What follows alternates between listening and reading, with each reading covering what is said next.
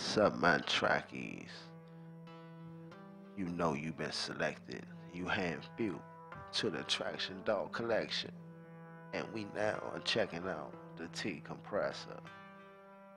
Yeah, like I say, you just go onto the website, load up your compressor, and it work just like this.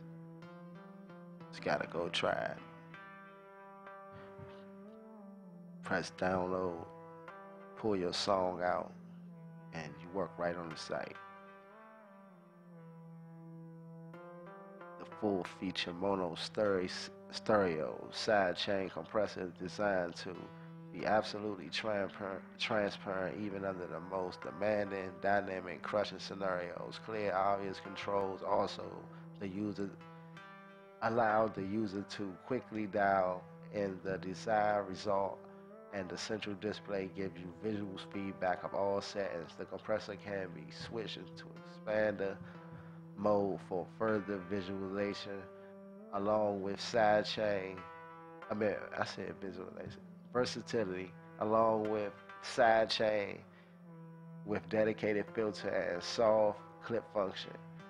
Effortlessly control your dynamic, your dynamics. All right. So basically, that's what they're telling you, right? And this the compressor. So first things we're gonna want to talk. A lot of people we're gonna we're gonna talk to the beginners first. I don't need to talk to the people who know what to do with a compressor. So that's who I'm gonna talk to, right? We're gonna talk to the people who need to know. So this right here is your auto gain. You can cut this on and off.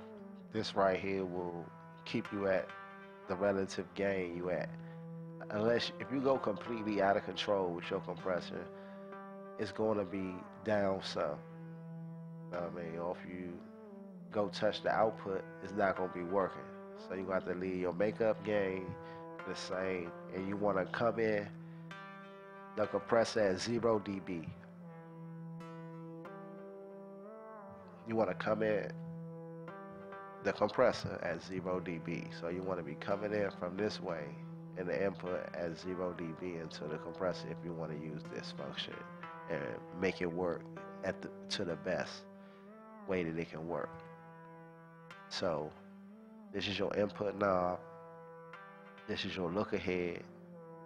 This basically it's gonna also it's like messing with the latency too. So just think remember this add uh, latency, but it don't add that much. So this basically you looking ahead to what's happening and the compressor gonna uh, work work smoother when you put the look ahead on. And you got the function where you can switch from compressor to expander, side chain, uh, monitor. It's gonna monitor the side chain. If I had a side chain selected, you got peak mode or RMS, max and sub. You got the soft clip you can cut this on then you got the threshold for your soft clip. Right here.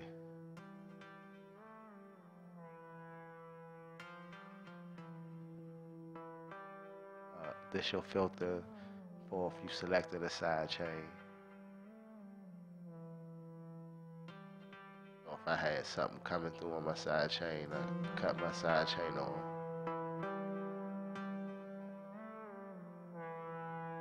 pick the frequency, how much Q you want, do you want gain out of it.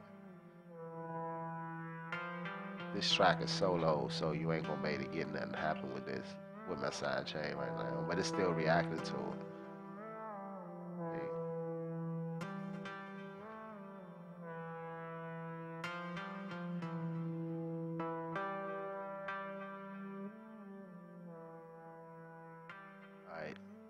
So basically, that's all your functions. You got your color scheme change from light to dark.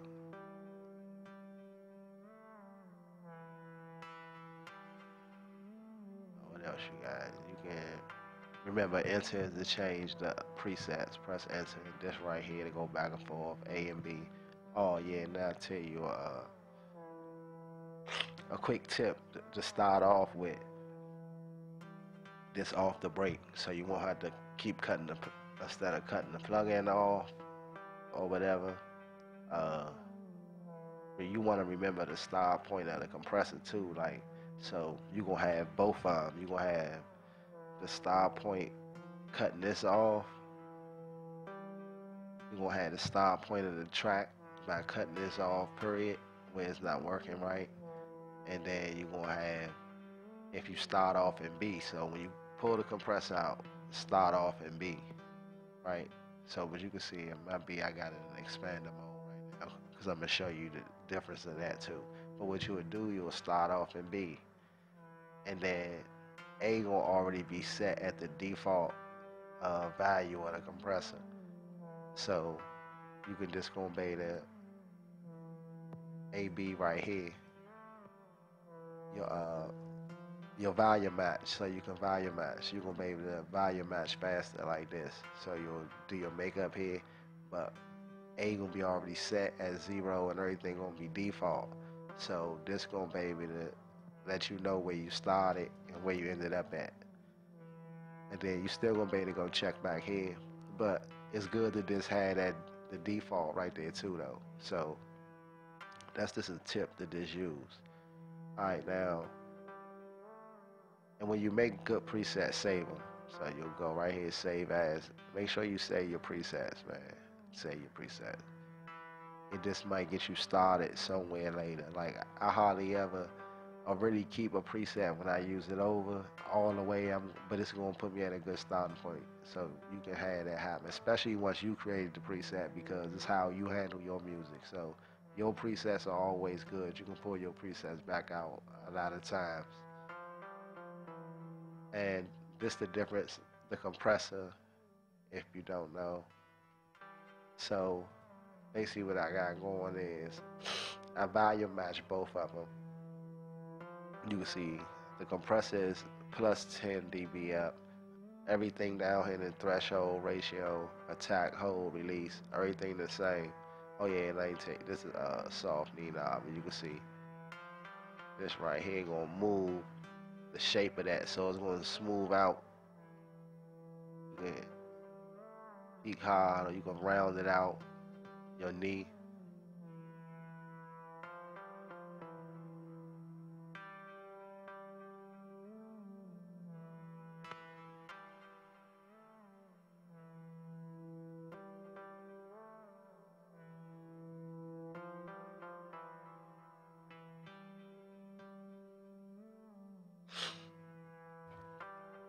Alright, so basically, the difference of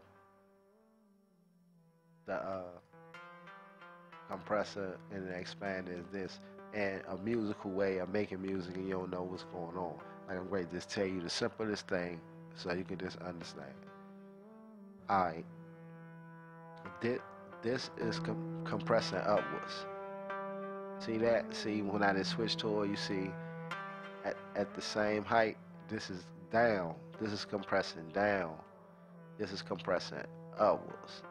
Expanding is it's compressing upwards. But what you will also notice too with expanding, it's another thing happening that that's going on. Now that's why I put it at the volume match off the A and the B with all the same settings. So you're gonna be able to see what I'm saying. The compressor is compressing is evening out sounds from the lowest point to the highest point, from the first point of the frequency to the highest point. So the first frequency is catching it is the lowest frequencies. It's coming from left to right. Just think of it in that sense, right? So the expander is starting from the most peakingest points from the highs. It's, it's, it's letting the lows like pass through and then is starting at that point. So I'm gonna show y'all another trick in the video to put two of these back to back, one expanding and uh, one compressing right back to back, and it's gonna be like you uh, side chaining it. So I'm gonna show you a trick with that. But so if I A and B it, you're gonna see the volume match is the same. But pay attention to the highs on the expander. See this in the expander mode. Now pay attention to the highs on this one. You can, you can already feel the lows is more rich when you're on the compressor. Like I say, we had the same exact settings, same exact volume.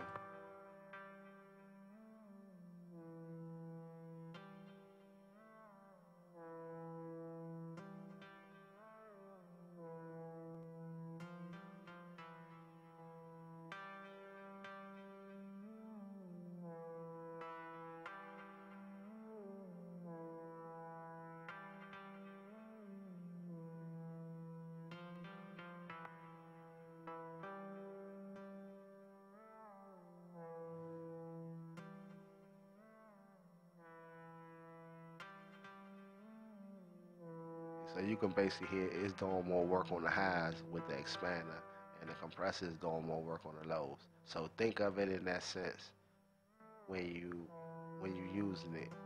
For a person that don't know what a compressor and them are doing, but you want to make music today, you just getting started. So when you want to use the one other, if you really just want to turn that sound up, use the expander. If you want to even the sound out, if you just want to turn the sound up, go with the expander. If you want to even the sound out and then turn up, go with the compressor. And like I said, you still gonna be, you can run an expander behind that and and get the same results. But I'm gonna show that in another video. Signing out. This the compressor. It's your boy Obey who say, What's up, record Lay-It production, and I'm out.